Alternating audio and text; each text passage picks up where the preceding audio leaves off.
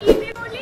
हम आ चुके हैं कैच 39 यहाँ पूरा गुलाबी गुलाबी एम्बियंस है and I regret picking this outfit cause chameleon जैसी फील आ रही है। खैर जायंट मोमो प्लेटर ऑर्डर किया। I don't know why I was expecting the momos also to be giant ये पैसे की पोटली खा लेती हूँ, क्या पता लाइफ में पैसे आ जाए। फिर गए पापा pizza and here's a slice of pizza bigger than my face family problem हो क्या? ये पिज्जा का स्लाइस भी नहीं संभल रहा था मुझसे। लास्ट में we went to Cantino random guess करो कितने का होगा ये। इसके लिए पेट में जगह तो थी नहीं बट दिल का क्या करूँ मैं क्या करूँ मैं क्या करूँ मैं क्या कर... जाइंट फ़ूड अब छोटी ड्रिंक से तो पचेगा नहीं so here's a human size की drink which is also perfect for कसरत पर्पसेस ओके टाटा बाय बाय